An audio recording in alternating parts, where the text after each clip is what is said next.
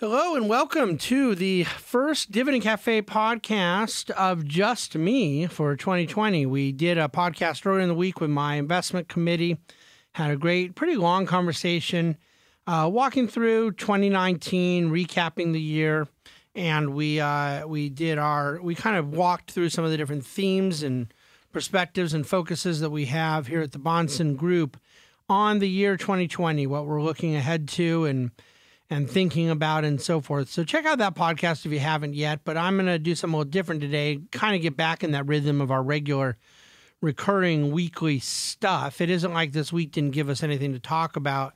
Uh, besides the normal year in review and year ahead things, we we um, there's a couple things I'm going to get into there. I, I want to highlight a couple risks in 2020 that that I think are noteworthy, but obviously uh, the week itself was mostly uh, filled in the news cycle and to a certain degree with markets um, around the uh, flare up in the relationship between the United States and Iran. When I say relationship, that's uh, it'd be difficult to maybe come up with a pop culture analogy of uh, as toxic as the relationship that the U.S. and Iran have had for decades and decades now. And uh, last Friday, the news that uh, the United States had taken out um, the uh, long, the longtime um, commander of of their Iranian force, the Soleimani, uh, maybe not a household name, well known for those uh, familiar with foreign policy, but has certainly kind of become a household name over the last week. And so the fears of retaliation, the disruptive effect into the oil commodity price in the region, and then kind of the question marks around not just retaliation, but then U.S. retaliation to Iranian retaliation and so forth. There's always the normal kind of standard political stuff. I think actually you got a lot of chance to see people do a pretty good job this week making fools of themselves in their political punditry around it and not to mention their lack of moral compass or moral clarity in assessing the situation. Um, but you know that the the tribal political age we're in, that's to be expected. From a purely market standpoint, though, it's fascinating how this is all played out. It was Tuesday night, at least five, no, maybe four hours after the market had closed for the Tuesday trading day, that we got word that the Iranians had fired, I think we heard 10 and 12 and 15, all, didn't, you know, somewhere it was all different numbers. I think the number ended up being 15 or 16 missiles at U.S. presence, U.S. bases, U.S. Uh, targets, and in the region.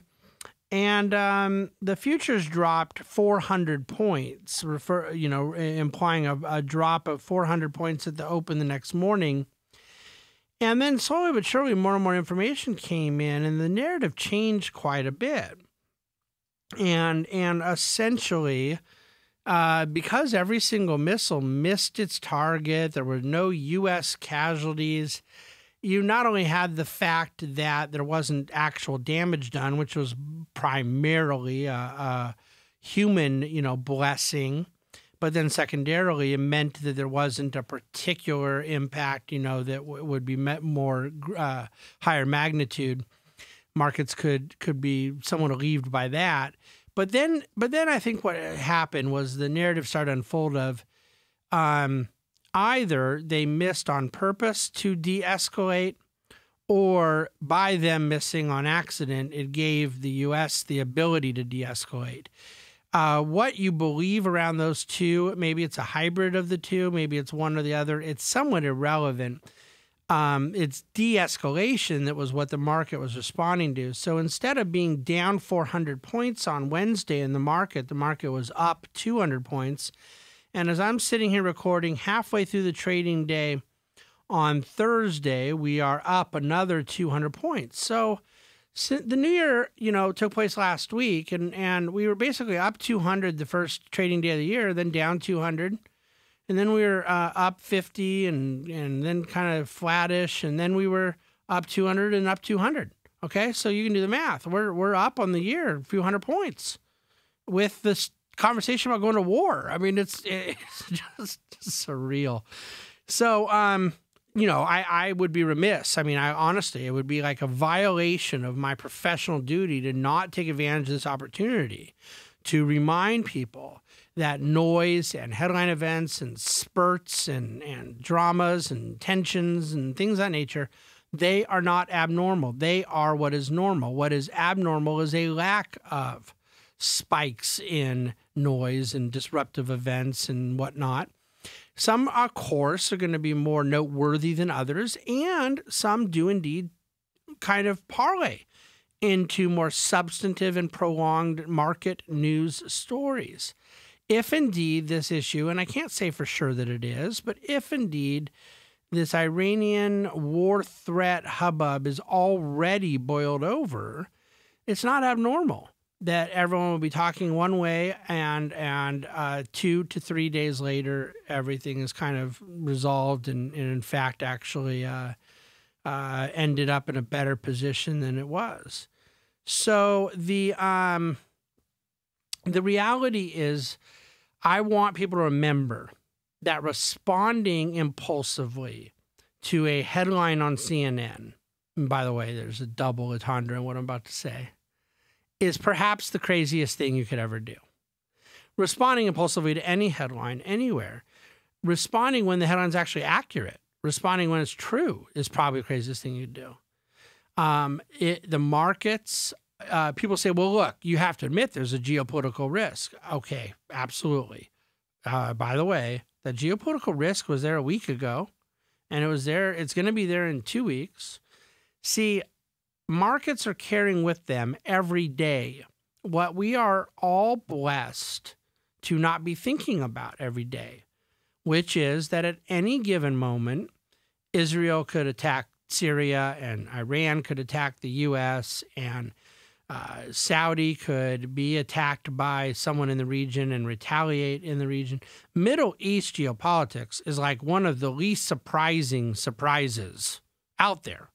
There are plenty of other issues that also represent persistent uh, source of risk premium in the market. Uh, European economic drama. It's been a long time since boiled over, and that's primarily because of the bazooka of the European Central Bank. But I mean, if all of a sudden there's a big announcement that XYZ Bank was, is is shutting down, or ABC country is in default on their sovereign debt, it wouldn't be like we were unaware that that risk was lingering. Those things are out there back in 2010, 2011, 2012, and, and again resurged in, in summer of 2015. Uh, These things with Europe were, we, we got used to them for a while, and then now they've kind of calmed down as Europe has gone through a mild recession and has had no growth and you know, it's not been a real investable place, but it hasn't had these kind of headline contagion risks. But those could come back anytime. And and so my point being, I, I, got on a tangent on Europe because it's one that I think deserves to be sort of always out there. Like the I, their banking system, I think is so deeply disturbed that there's always that problem uh, announcement pending. But the reality is that it doesn't matter if we made a list of the top two or three we thought were most you know significant there's another two or three we're not thinking of. That's first of all human nature. It's reality. It's the reality of a fallen world. But it also is the reality of risk premium in equity investing in risk asset investing. And so what we got this week was an example of a spike in volatility and in, in questions there was distress and there was fear. There's fear of an unknown. Gold prices went up a little bit, but but look, in addition to the fact that sometimes that responding impulsively to fear announcements being crazy, let's also take another lesson from what took place this week, which is the total lack of drama uh, that is actually embedded. At the end of the day, the headlines were nowhere near proportional to the reality.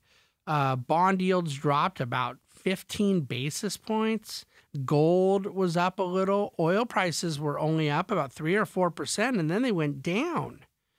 So, yeah, if you really think all of a sudden something's happened that's bringing in Armageddon, I'm just going to tell you right now that generally Oil prices are going to go up more than 3%, gold prices more than 3%, bond yields will go down more than 0.15%.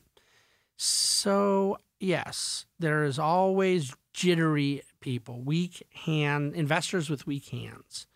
But ultimately, I think that we have to look at this as yet another lesson, another example in a long, long list of things by which people might get ahead of themselves if they're following the media. It is very much the media's um, agenda, whether it's click media or watch media, read media, to have uh, some flair. And uh, flair is the enemy of an investor. I just made that word up right now. Um, half full glass, I think that this that uh, in this Iranian situation, you really do have the opportunity for uh, de-escalation, an off ramp for both sides to kind of chill. And there's a political benefit for that to President Trump. There is a um, war benefit to that to Iran, because if it escalates, that probably hurts Trump politically, but it could devastate Iran militarily. You know, they obviously could not keep up in a in an air war effort with the United States, and I'm not really quite uh, sure that there's anyone who doesn't know that. I think that the reality is uh, that this is maybe potentially a really good situation for the time being based on where things stood five or six days ago. Uh, now, a half empty glass might throw out that we don't know if Iran will be content to leave it where it is. It's very possible they want to keep poking the bear. Um, but the severe economic sanctions and whatnot are going to take their toll and at some point there will end up, uh, you know, being another another evolution to this. Um, I point out in dividendcafe.com this week something I want to talk to you about now, which is um, relevant and pertinent, related to what we've been talking about, but then kind of creates a segue. And that is, speaking of the economic sanctions and these this uh, distress with Iran, we also, of course, know that we're about to sign the Phase One trade deal with China and it calls for them to drastically increase their uh, their purchases from the United States in both agriculture and energy. But I noticed this week, and I put a chart in Dividend Cafe that 24% of Iranian crude oil is exported to China. Their second biggest customer is India at 18%. Um, Iran, Iranian crude exports are dramatically down, um, uh, over a million barrels a day. Um, excuse me, I'm saying that wrong. Um, the scale of it, let's just put it this way it's down well over 50% in the last two years. It's a better way for me to put it rather than put an absolute number on it because uh, I have to annualize the figure and I want to do that right now. So, my point being that um, the, China could very well end up having a need here to purchase more from the United States. I'm just saying. Um, Okay, enough on Iran. Uh, I, I I think that you've kind of gotten my point on the reactive element to market events. A couple economic things. I'm going to bounce around a little, and then we'll call it quits for the week. Um, I, I am anticipating the possibility. Uh, I think everybody who listens to Dividend Cafe knows that I, David Bahnsen, the chief investment officer of the Bahnsen Group, am radically emphatically in the deflationist camp uh, the, of the belief that the globe and the U.S. face generational, structural, and secular deflationary pressures brought about as a result of excessive debt, and that the uh, downward pressure on bond yields is um, self reinforcing with the deflationary pressures that we face. That said, I do believe that cyclical bouts of inflation cannot be ignored and are probably an underappreciated risk this year. And I uh, believe it is worth noting that you have a uh, central bank, a Federal Reserve in the United States, that is not concerned with asset price inflation. In fact, I would argue that many of them, if not all of them, and collectively, as far as the votes go, they actually probably believe asset price inflation is a good thing because of their ideology of the wealth effect.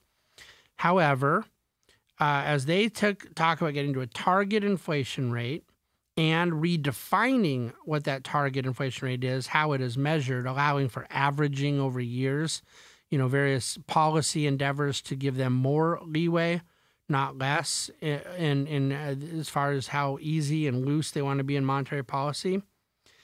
Um, I, I believe that we would be wise to understand what they're looking at. Uh, because housing, medical care, and education have had significant price inflation um, over the last 20 years, um, even over the last 10 years. But over the last 10 years, the overall consumer price index um, has had very muted inflation. And and I believe that those of us who would argue, okay, but look at asset price inflation, you could, you could distort valuation of risk assets, or look at the government subsidized sectors like housing, medical care, and education. There's big inflation there we can be right intellectually, we can be right ideologically, but I do not think that's what the Fed is concerned with when they talk about targeting inflation. Uh, low energy prices and low and the effect of technology has held inflation down for a, a decade now, and I think the Fed views that as uh, you know an offset to, to other areas where they may see actual inflation, so they can blend together a pretty muted amount overall, the price level in the economy continues to, as a result of inadequate velocity, money turning over, continues to fight deflationary forces. But I think that they would allow for some cyclical inflation, which could be problematic and needs to be monitored. Now, now I don't want to go on this tangent. Is gold the way we want to respond to that? What's interesting, I throw in in Dividend Cafe this week that the gold miners index, it's called the Philadelphia Gold and Silver Mining Index, the XAU, been around a long time. But this is just absolutely amazing to me. Um, is at the same level it was at right now in 1984, 35 years ago. Hasn't moved. So, is that our solution to where there could be bouts of cyclical inflation? No, it is not. Um, ultimately, I bring it up because I think it's very important to understand what the macro perspective and operating principles are of our country's central bank, both where they could be a benefit and a threat to investors, um, uh, and savers and spenders and any other you know category of economic actor.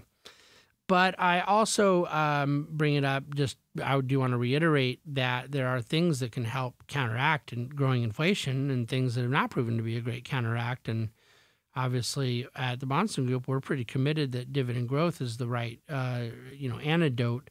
Um, but empirically, it seems undeniable that a lot of the gold bug way of dealing with it has not worked out so well. So, what are the risks in 2020 that uh, that we think deserve mention? I, I think first of all, you got to define what we're talking about. We're talking about things that we think are not necessarily high probabilities. We're not predicting these things or forecasting them, but that they have a perhaps underappreciated um, consideration in the market. There are things that, if stuff were to go wrong, we could see it being in one or more of these categories. Uh, the fifth one is the one I just got done talking about, which is cyclical inflation. And fourth, I talked about earlier, which is escalated Middle East tensions. I make I, I will add the comment I'm cheating because you could just put that on the list every year. And I think that for future years, you could keep number three on the list too, which is European contagion risk. I don't think that anyone should be surprised if all of a sudden you get some sort of European banking situation. You may very well not get it. You did not get it last year. And yet, I think it could come at a particular time and cause some temporal, you know, disruption in markets, counterparty risk, things like that. Uh, but then the top two um, that I will leave you with for 2020 in our mind is U.S. election outcomes. Certainly, some outcomes are worse than others. This is highly unlikely to become a factor in the volatility of the market until later in the year primarily because um, there's just so much open, so many open issues until we get maybe on the other side of the Democratic primary, things like that. But then at the top of the list is this concept of trade war flip flopping. I think phase one deal is done. I think it gets signed next week. And I think pretty much the broad posture will be everyone will sit still. But there could be along the way some tweets and some, you know, reversals and some backward moving uh, uh, you know, some re- regress in the in the talks and in the execution or or implementation. And then, of course, there's the idea of new trade tensions coming up, perhaps with Europe. So all those I think are worth mentioning. Now, those risks are not what are our predominant considerations right now. We're predominantly focused on the fact that it's a healthy economy and we anticipate earnings growth this year. Um, it's interesting in the chart of the week at Dividend Cafe, I point out fourth quarter, excuse me, the first quarter of last year, they were anticipating 4% earnings drop. We were basically about flat second quarter, they were anticipating 2.7% earnings contraction. It was basically about flat, contracted a little bit. They're expecting another 4% in Q3. It contracted about 2%. And now they're anticipating 1.5% in the fourth quarter. So the trend for multiple quarters in a row is for the uh, earnings growth to have not been very good, but to be much better than the real bad that had been expected. And I think that um, earnings growth in 2020 will drive markets a bit higher, but you will not get the same multiple expansion that you got in 2019, which caused markets to go much higher. Um, another factor I point to to just kind of give you a green uh, shoot of optimism is the $135 billion that was withdrawn last year out of stock mutual funds and stock exchange traded funds, ETFs. I still believe that markets die on euphoria and that there has been no euphoria in this bull market. Now, there's a lot more optimism and a lot more enthusiasm and, and you know, shades of euphoria here and there now than there was uh, in previous times. But there is by no means the classic signs of a blow off level of, uh, you know, mindless, bullish euphoria that generally represents the end of a bull market. In fact, last year, by if the sentiment can be adjudicated by the flows, the net flows of assets, investors were still continuing to not believe in this market. So, a lot for investors to be very encouraged about. Plenty of reasons to maintain allocations to uh, the risk assets at an appropriate level, appropriate weighting in your portfolio. Uh, we're working very hard uh, this year at that proper level of defense and proper level of exposures is what we believe could be another year in the bull market and economic recovery. Um, and yet at the same time maintain appropriate levels of defensiveness and caution around the understandable headwinds that are there. We also are making, and by the way, we're rebalancing our entire book of business next week, really seeking to kind of just even though we're mostly, other than some marginal adjustments, keeping our, our top down broad asset allocation levels very similar to where they had been, rebalancing within that, there's some composition changes and just modest kind of retweaking to bring people back into the balance and, and alignment of their portfolio that we want them to have. But I think that um, some of these other themes that we've written about and spoken about, uh, I would just really encourage those of you listening who are clients to hold us accountable to. Make 2020 a year of redoing, revising, revisiting your financial planning. Uh, have the conversation with your advisor about your tax services.